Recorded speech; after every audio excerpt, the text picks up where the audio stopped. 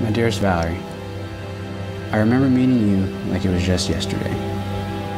I still get the giddy feeling every time I see your face or hear your voice. You have always been my shining star and my light in the darkest days. Finding someone like you is something I've always dreamed of since I can remember, and now I'll get to marry you. I love you, baby. I can't wait to see you soon.